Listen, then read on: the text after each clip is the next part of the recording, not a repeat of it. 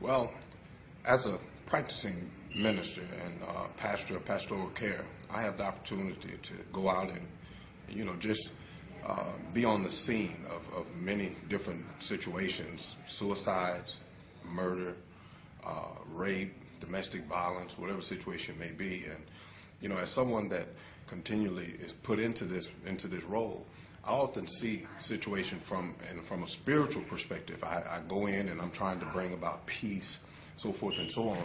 But I'm, I've never really un, quite understood as a first responder, from the police officers to the fire department or anything like that.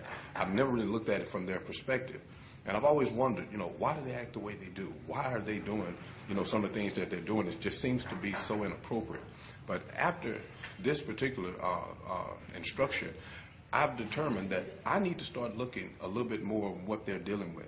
Uh, it appears to me that you know not only are they are they are professional professionals, but they're also people, and they deal with situations the same way that we do, from an emotional and a biological standpoint. So what I've determined, one, I need more training this course has taught me that I need more training. I need to be able to see it from their perspective as well as a Christian perspective.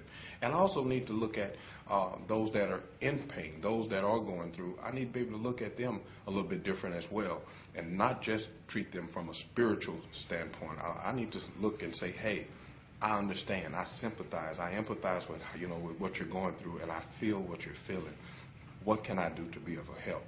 Uh, this chaplaincy program has really opened my eyes to see that it's not just about me, but it's about those that are going through the victims as well as the first responders.